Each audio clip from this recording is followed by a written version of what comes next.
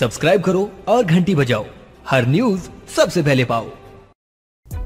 India भी South Africa T twenty series के लिए भारतीय टीम का ऐलान, प्रमुख खिलाड़ी की टीम में वापसी। भारत और दक्षिण अफ्रीका के बीच 15 से 22 सितंबर तक होने वाले तीन मैचों की टी सीरीज़ के लिए भारतीय टीम का ऐलान कर दिया गया है। विराट कोहली की कप्तानी वाली 15 सदस्यीय टीम में हार्दिक पांड्या की वापसी हुई है। वहीं भुवनेश्वर कुमार को टीम में जगह नहीं मिली है।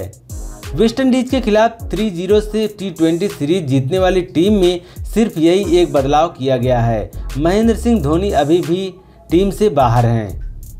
वेस्टइंडीज के खिलाफ टी सीरीज़ में भारतीय टीम का प्रदर्शन काफ़ी अच्छा रहा था और इसी वजह से टीम में बड़े बदलाव नहीं किए गए हैं।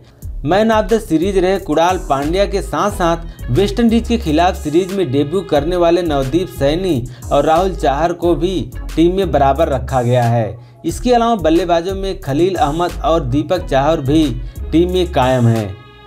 बल्लेबाजी की ज़िम्मेदारी कप्तान विराट कोहली के अलावा रोहित शर्मा, शिखर धवन, के राहुल, श्रेयस अय्यर, मनीष पांडे और विकेट कीपर ऋषभ पंत के ऊपर होगी।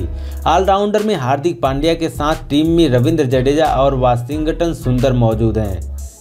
दक्षिण अफ्रीका की टीम भारत के दौरे पर आने वाली है, जहाँ सितंबर, अक्टूबर में वह तीन मैचों की टी सीरीज़ और वर्ल्ड टेस्ट चैंपियन के तहत तीन टेस्ट मैच की सीरीज़ खेलेगी।